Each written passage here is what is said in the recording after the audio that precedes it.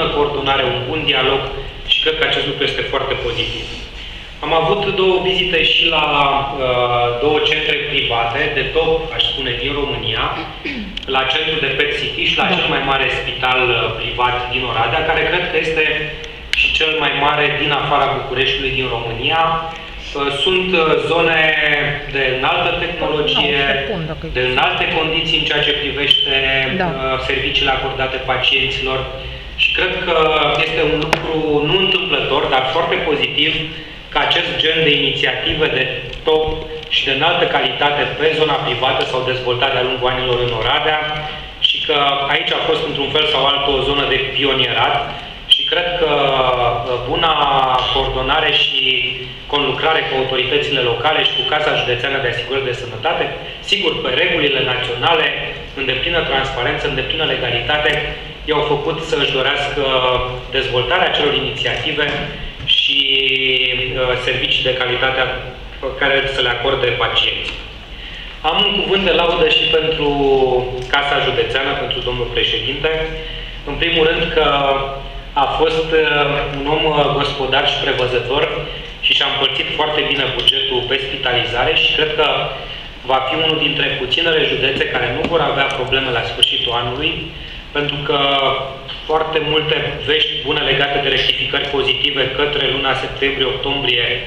uh, nu ne vin. Și atunci cei care au fost gospodari și au împărțit bine bugetul, au uh, avut grijă ca spitalele să nu-și depășească cheltuielile, vor avea de câștigat, ceilalți în alte județe vor avea probleme pe care vom încerca să le ajut, să ajutăm să le rezolve, dar nu știu dacă vor reuși întru totul către sfârșitul anului. Și sigur, faptul că în ceea ce privește predarea, uh, primirea bazei de date cu debitorii către uh, ANAP, către Direcția Generală a Finanțelor Publice sau Administrația Financiară, cum se cheamă acum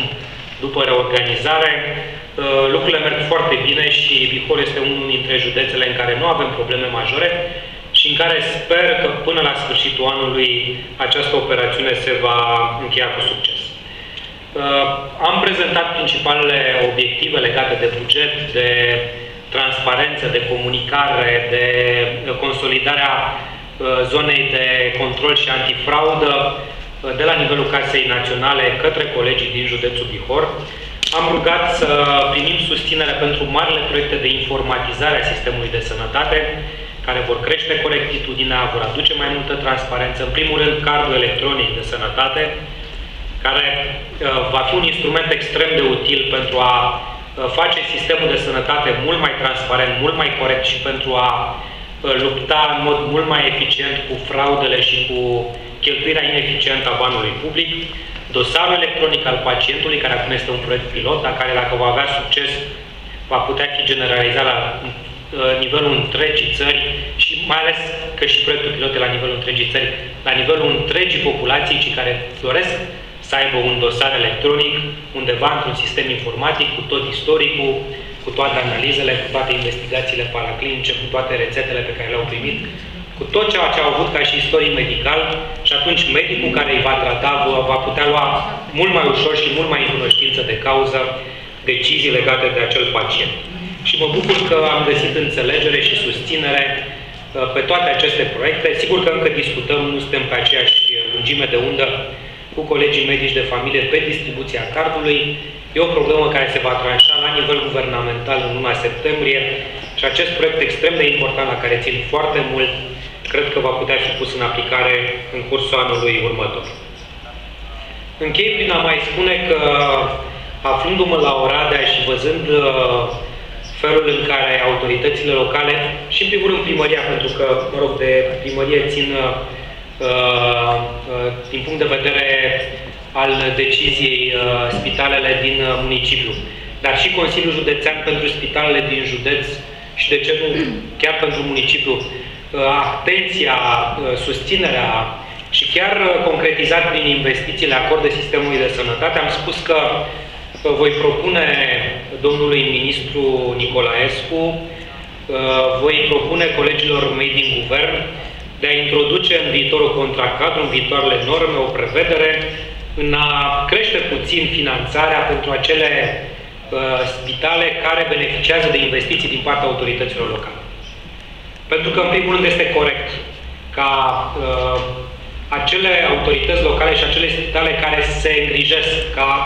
asigurații care susțin Fondul de Sănătate și Casa Națională și pe care îi reprezint,